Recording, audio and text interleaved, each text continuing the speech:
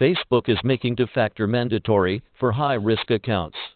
Facebook, a recently added subsidiary of Meta, said it will make two factor authentication mandatory for high risk accounts likely to be targeted by malicious hackers. The move is part of a major expansion of Facebook Protect, the social networking giant's enhanced security program that's intended to protect the accounts of people who may be at particular risk, like human rights defenders, journalists, and government officials. The program was piloted in 2018 and expanded ahead of the 2020 U.S. election in a bid to try and stop abuse and election interference from spreading on the platform.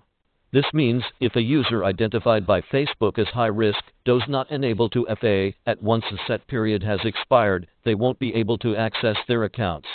Facebook says that while its own figures show that less than 4% of its global monthly active user base has not enrolled into FA, it currently has no plans to mandate the feature for all accounts.